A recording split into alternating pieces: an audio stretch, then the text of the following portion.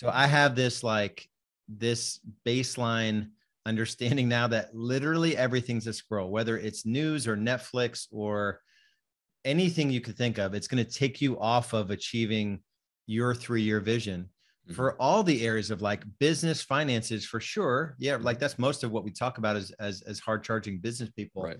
But then there's like all the other stuff, your marriage, your kids, your physical body, your spiritual journey, your emotional well-being, any hobbies or any siblings that you need to sort of friends and those relationships. But the, the killer now is just social media and news and Netflix. And if you're stressed yeah. and you're constantly triggered, you're going to look to those things to sedate. And, you know, I tend to eat, you know, I snack and watch TV. Those are my sort of zone out. And yep.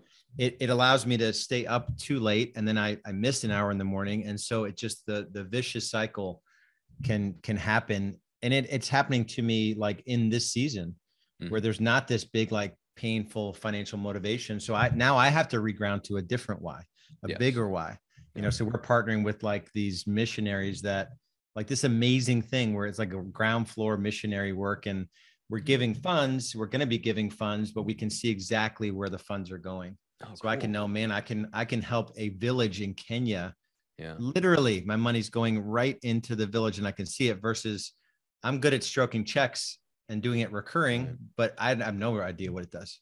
Yeah. You know, so that I think yeah. that's the emotional juice I need for this next stage.